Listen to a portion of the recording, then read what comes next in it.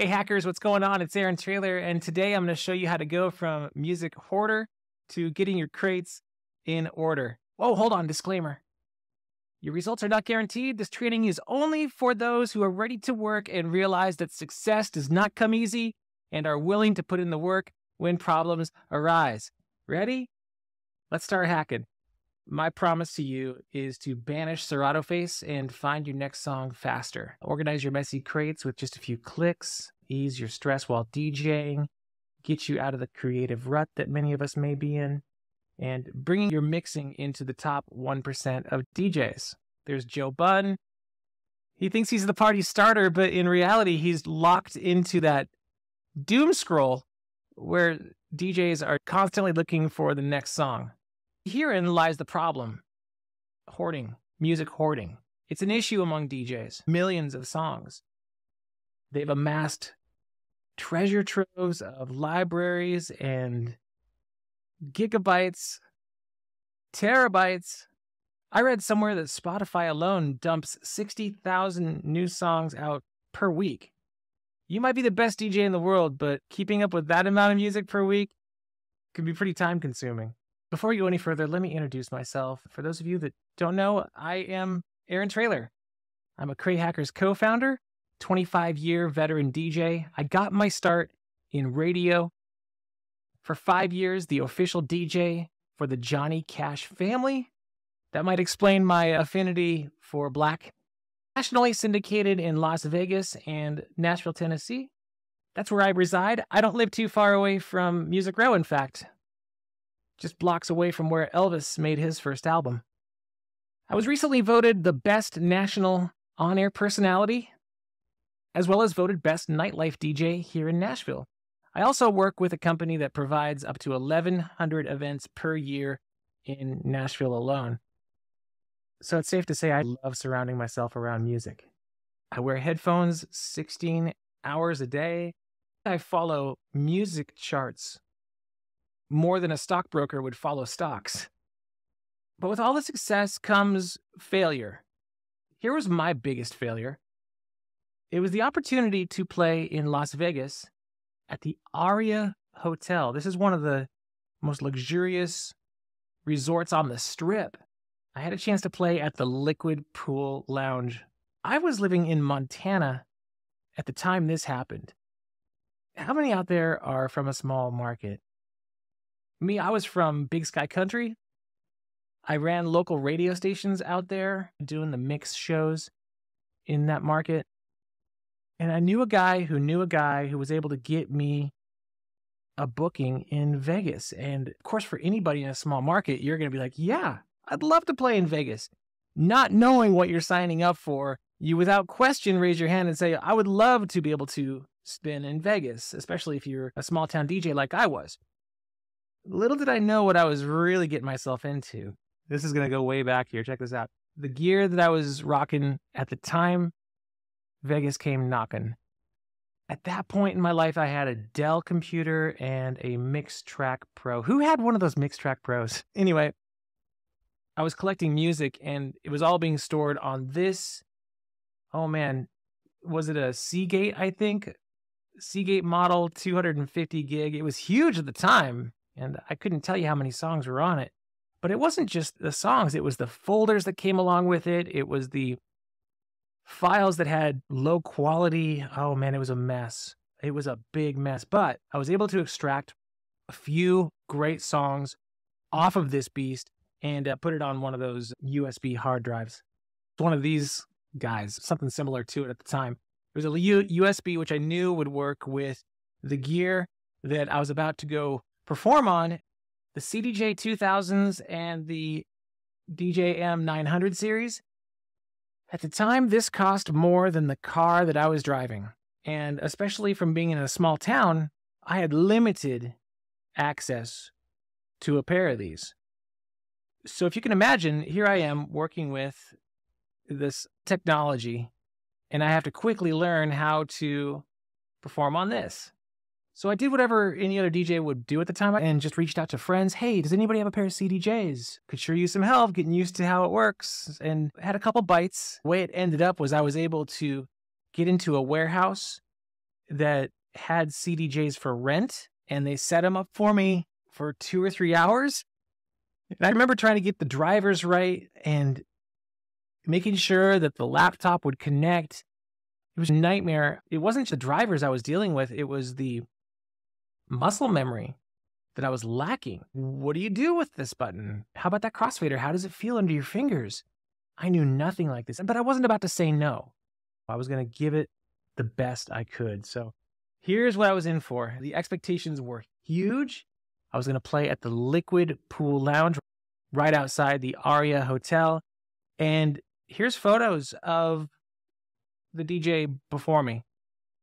This was me. Why such a dramatic difference from this to this? So, what you're not seeing is that moment where I take a USB and I plug it into the CDJs with my songs that I was going to play that hour. And immediately when I dropped it in, it started doing an emergency loop. It was at the point where I realized that the connection on the other CDJ wasn't connecting the way it was supposed to. I should have had two of these to begin with. But next thing you know, that USB bottoms out on me. It starts doing that emergency loop. And so I instantly cut it down because it kept playing the same beat over and over again. I cut it down and everyone's looking around at the DJ, me, and I'm telling people, give it a second. And so what I instantly do is I go back to tried and true, thinking that this is going to be able to plug into this. That didn't work out. I finally get an iPod running and plug it into one of the extra channels to buy me some time, all the while struggling with this and drivers and compatibility and clearing the pool. I've heard of DJs clear dance floors before, but who could clear a pool? That was me. Look at this picture. So, this was the guy that knew the guy that got me the gig to play at the Aria Hotel. And this is that moment where he's whispering into my ear, Hey, I see you're having trouble. I'm going to bring another DJ on for you. And, but don't worry, you can still stay at the hotel and dinner's on me tonight. I just, I froze. I didn't know what to do. I realized that there was no way I could save myself from this. And I really want to know who took this picture because the timing is just perfect. It's a constant reminder every time I see this that this is really where Crate Hackers started. It was that moment of, oh no, I really screwed up my first opportunity. Realizing the whole time back in Montana, this was the problem the hoarding of music. Thinking that 30 or 40 songs on this was going to save me, stupidity on my part. Just dumb something had to change. I actually remember myself taking this picture. This is me leaving Vegas and heading off to Montana, tail tucked between my legs, of course, thinking to myself, okay, we've got to fix something here. And it's moments like this where you really have a turning point. Do I continue to go the direction I'm going to keep going? Or do I change and start fresh? Have you ever ripped the band aid off? Have you ever just said, screw it, I'm so over this? I was about to do that. But here, on the bright side, I had some great opportunities back home. I'm coming back and I'm still hosting radio shows and I'm still honing my craft. Note that in this picture here that I've got my first pair of CDJs. Could have used those a while back. But anyway, I would just sit there and hone my skill, uh, both in the studio and in the club. And there was often some parallels that I would notice being in a booth projecting music on an FM radio signal and DJing and watching a reaction on the dance floor. Two very powerful things that I just surrounded myself around when I was younger. And that part where I decided to start over began with the one big true discovery that ultimately launched Crate Hackers mindset. But it starts with the leap. You have to take the plunge. I do have a safety net. Follow and trust me, but let me show you the way that I started so you don't make the same mistakes. It began with the one folder to rule them all. You hear me talk about this a lot in the private group. The one folder to rule them all. is something I want us all to experiment with. And rest assured, you won't have to worry. I'm not going to mess with your current collection. Everything stays the same for now, but play with me on this game. The one folder theory is a game changer. For starters, it's an instant duplicate killer. It's an ability to bulk delete via the columns that you can sort by. View the quality of your bit rate. Quality versus quantity is something you're going to hear me say a lot. Uh, quality 320 kilobytes, yada. We'll talk about high bit rate later. But not to lose you, I just want you to help find yourself the ideal backup, a clean library from scratch with everything in one place. No more folder structure nightmares, not like what you saw me deal with back in Vegas where it was folders upon folders and me searching for songs on that big clunky hard drive. You need to have it all uniform. So the one folder technique kind of works like this. Let me share my, if you don't mind, I'm going to share my screen. I've got the slides here. I set this up as an example, but pretend like you're on the inside of my C drive, right? And I've got music here, and I'd ultimately like to have everything in this folder. But the problem is, I've got this and this over here, and folders upon folders of songs that are just sitting somewhere else. So I decided to go through and open up each folder and dump everything into one big folder starting from scratch. What I noticed was something pretty amazing would happen when I took songs from one folder and put them into another. See this screen right here? This one here. Let me read it for you. It says, An item already exists in this collection. Do you want to replace it with the one you're moving? Follow me on this. This is a duplicate killer in itself.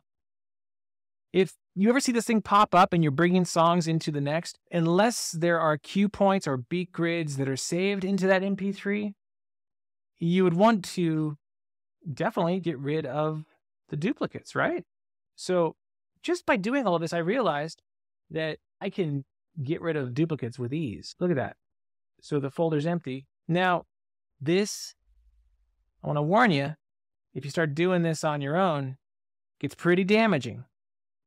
I'm not telling you to do this step by step right now. This will destroy your cue points. This will destroy your beat grids. And that's really cherished amongst a lot of DJs. So, what I propose is we work smarter and not harder. There's going to be some songs you're going to lose in this process. So, before we go any deeper, please back up everything. I really want you all to practice the art of backing up your backups on backups. If you have to put it into a locker or safe, fireproof. This is your paycheck. If you think about it, your library, if you're a DJ, is your performance. So back it up on back it up. But play with me in this sandbox. I really believe that this one folder is going to loosen up a lot of restrictions and help you feel so less stressed. The anxiety is going to wash away if you experiment with me on this. Again, it's the instant duplicate killer. And then I haven't even shown you that with a mass majority of songs, you can go ahead and columnize, much like you would a spreadsheet, the artist column, the title column, and be able to identify wait, do I have too many versions of this? You can see that instantly. And of course, the bitrate, taking that folder once you're done with it and dropping it into Dropbox is a breeze now because it's far less than what you used to have no more folder structure nightmares. I've been practicing this philosophy and uh, the ripping the band aid off over the past 10 years, realizing that I have too many songs. And also coming to the understanding that as a radio DJ, charts are very unreliable for the working DJ. I can't play what's on a top 40 radio station at a club. Radio and club are two totally separate worlds. However, there's a philosophy I'd like to be able to bring into the fold of helping program your sets. There's some secrets that radio station program directors know that I know that I want to share with you. And if you can use that as a secret weapon for your performances, then let's start hacking, right? You got to make some moves and show me you're serious. Let's talk about this one folder theory in the comments. Tell me your fears about it. Remember, there is a way to automate this and create a backup in the Crate Hackers desktop software, which I haven't even begun to show you, but this is the reason why we're here. Crate Hackers was built because we wanted to help you find the next song faster. And our community of DJs took this theory and made it a technology. It's even got artificial intelligence baked into it now. So, over the 10 years of doing all of this experimenting, I discovered the hard way. I failed miserably, but came back stronger and with some secrets that I would love to share so you don't have to make the same mistakes I did. You're going to get the easy way, you're going to get the crate hacker way. So please stick around because I've got much more to share. It's all a part of the three secrets of how to go from music hoarder to getting your crates in order. I'll have another secret to share on the next episode.